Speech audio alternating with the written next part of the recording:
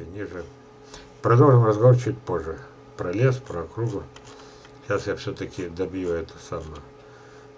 Когда я увидел, а я никогда сюда не заходил, Р, Г, А, У, М, С, Х, А имени Тимирязева, увидел свою родную фотографию. Так, как же они свою-то не могли сделать? Непонятно.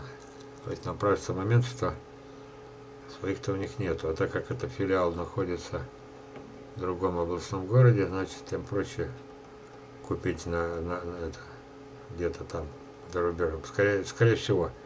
Или, может, все-таки у них есть сад, только не плодоносит, тогда какой смысл это, питомника, если себе вырастить не могут десяток плодов на фотографии. Вот. я тогда копнул глубже. Э, они же там же. Вот же, смотрите, вот это вот прочли. Я ничего не выдумал. Смотрите сюда. Они же. Они учат нас, убогих. Так? Написано много хороших книг, как все это правильно осуществить.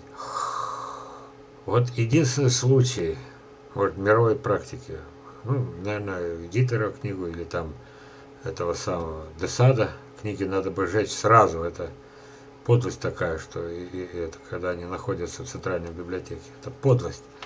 Вот. И вот эти бы которые они говорят, много хороших книг, все до единого. Они осуществляет выезды, знаете для чего? Калужскую, Московскую, Тульскую, Брянскую. Стоимость работы. Резать. Внимание. Читайте. Питомник, растения. Вот имени Тимирязева. Вот. А работники Тимирязева из Москвы выезжают. Это не шутки. Смотрите. Сколько они нашли лишних веток принципиально не просто 6 веток, 9 веток. Раз, два, три, четыре, пять, шесть, семь, восемь, девять. И когда вы пригласите свой сад, который кажется загущенным, кстати, они нарисовали нормальное дерево, они приедут и будут его уродовать. А так как приедут за сотни километров, еще раз, Брянская, это же не шутки, Московская, Брянская, Калужская, это же не шутки. Они приедут и будут ваши деревья калечить а вы им за это платить будете. Вот. Сейчас я скажу, а, вы представляете, я сейчас не могу это комментировать, потому что иначе меня точно не доживу до, до конца вебинара. Вот. Вы представляете, что они делают? Обрезка плодовых деревьев осенью. Ну, что должно последовать от меня дальше? В скобках. Полный набор идиоматических выражений. Что такое идиоматические? с вас много раз, знаете, что такое мат. Осенью, зимой, что они творят? Им лишь бы заработать, вот это-то, вот. Понимаете? Что они творят? Это немыслимо. Но прайс за услугу, за уничтожение деревьев. Вот. Ну и что? А это продолжение. Ну что вы видите? Ну, искалеченные деревья вы видите. Посадку вы видите. Ну, дерн уничтожен, видите. Для меня дерн это святое. Он и тут-то уничтожен, просто он успел это самое. Дерево на севере, оно должно иметь вот такой цвет. Оно впитывает вы знаете, помните, как я говорил, южный склон или западный склон, вы как бы переезжаете на 200-500 километров на юг. Ну, в зависимости от этого. Помните? Теперь я обратно скажу. Покрасили дерево. Заметьте, это не побелка. Побелка на махом смывается. Почему жалуются весной, когда белишь гашеной известью? Только наступили теплые дни, а уже поздно. Да и дожди пошли смыло. А с осени опять поздно, к весне от побелки остается хрен знает что. Вот. Мне хорошо кто-то написал на днях. Да я щиты поставлю. Ну, если у человека вот такой же садик, там, раз, два, три, четыре, пять, шесть, да. Пусть 10, 20. Он говорит, я щиты поставлю. Я говорю, хорошо. Поставьте, только закрепите, чтобы их ураганный ветер не сбил. Все-таки парусность большая. Но главное это, если вы, специалисты, знали бы, что когда дерево не может впитывать тепло, а другие-то вы еще молодцы, другие на вытянутую руку вот до сюда, то есть это, вы же его переносите куда? Или как бурого медведя в эту в Арктику, он же там сдохнет. Вы же их на север толкаете, как бы, образно говоря, они переезжают на север.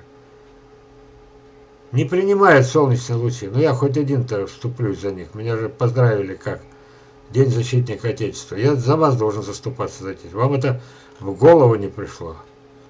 Омолающая обрезка, согласен. Санитарная обрезка, но только не как это самое. Ой, еще потом покажу, сколько этих умудряется осенью и зимой делать. Формирующая обрезка, избави Боже.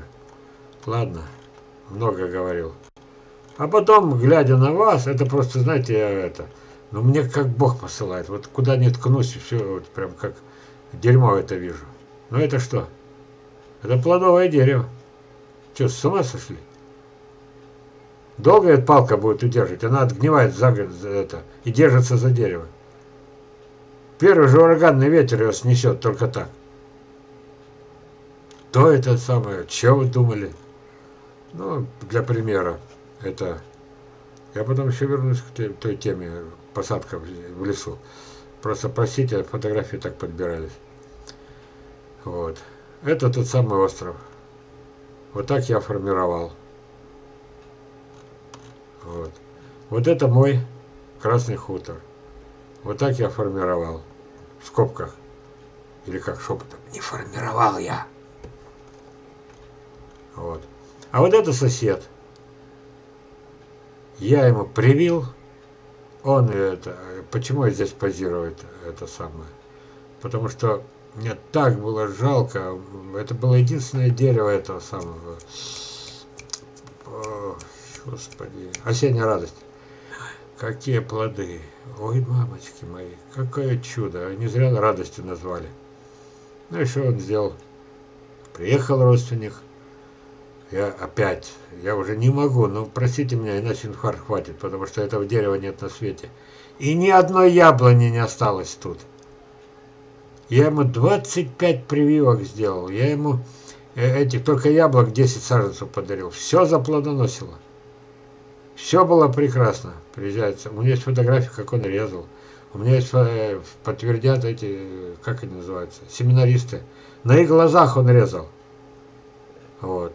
Телевидение приехало, я показывал, э, когда его не было, что вот видите, это дерево живет последний год, это дерево живет последний год. Тоже подтвердят, телевидение это родное, Саяногорское. Меня все знают, помнят. И вот это последнее, и что было? Ужас какой-то. Он мне, когда я сказал, остановись, Алексей, он мне сказал так, это войдет когда-то в учебники. Пример дичайшей глупости. Константинович, ты ничего не понимаешь в садоводстве. Цитирую дословно.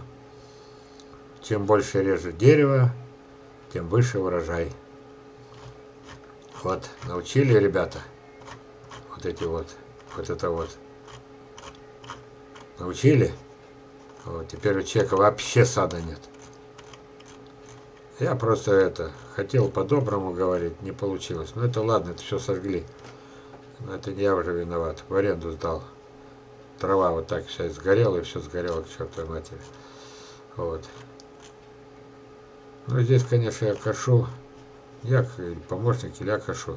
Ну, коса современная, она прям буквально сдирает все. Траву прям до этого, да. Ну, дер-то остается, сам дер, дернина. А уже э, то чуть ли не черная земля получается. Ну, и трава остается на месте навсегда. И мой сад за 30 с лишним лет не, не потерял э, то, что называется плодовитость, или как его называют, ну, качество, качество почвы. Я начинаю добавить некоторые слова. Плодородие, скажем так.